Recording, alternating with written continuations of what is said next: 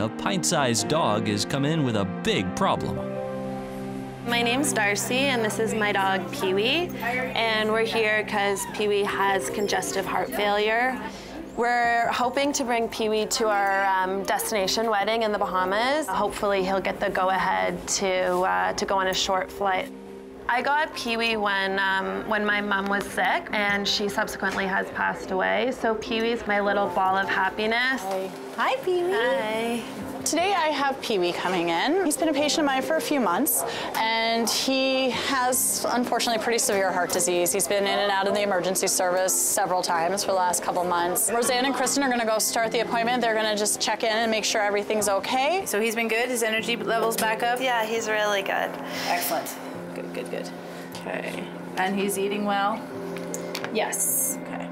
Pee-wee is slightly claustrophobic. He has like panic and anxiety um, issues when he's on the plane. So we're taking a road trip from here to Florida and then taking a small, short plane ride from um, Florida to Nassau. So we're hoping that this plane works because it's a freight plane so he can sit on my lap and not in the bag. Alrighty, Pee-wee. So what I'm gonna do is I'm gonna bring all this out to Dr. Williams. Okay. And she'll be in very shortly. Okay. I'm really hoping that Dr. Williams can give me some good news today about Pee-wee and coming to the wedding because it would mean the world to me.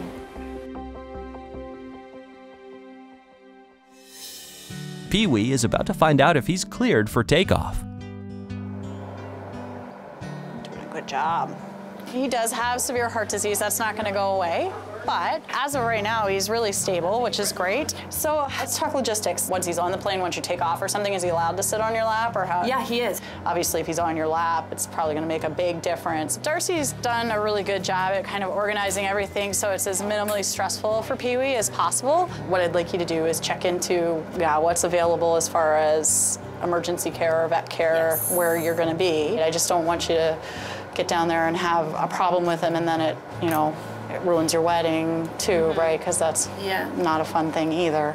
Whenever anybody travels with their, their pet, it's really a good idea to know where the emergency clinics in the area are gonna be. So maybe. He's begging you. He's saying, please, let me go. go to the Bahamas. please." I love it. what we'll do is we'll tweak some of the medications, see if we can keep him stable, and uh, if everything's looking good, hopefully we can get him down there.